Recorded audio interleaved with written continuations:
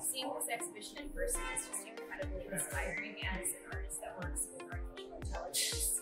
It's just, uh, it's, it's thrilling to witness what kind of creativity is surfaced by these kinds of intelligence systems in combination with human creativity.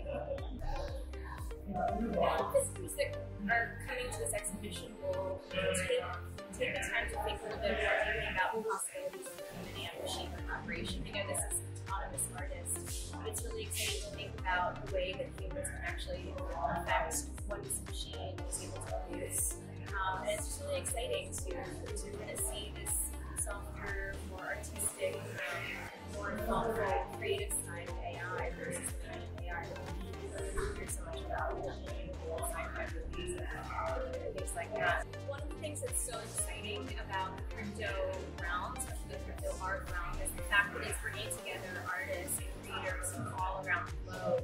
And I think that the Botto project really brings up this incredible potential for networked imagination and what we can all do if we join forces and create this kind of collaborative consciousness. What kinds of um, beautiful things can be created together, what kinds of possibilities can we imagine, what kind of futures can we, um, can we draw. It's really exciting to think about the fact that crypto is bringing together creative forces from around the globe. And what I'm really so inspired by with this Botto project is the potential to really bring together creators uh, from around the world who are really uh, working in so many different areas and to all have an impact and all join forces through this creator that is Botto, this, this network of artists to really make something beautiful and global come to life by a networked imagination.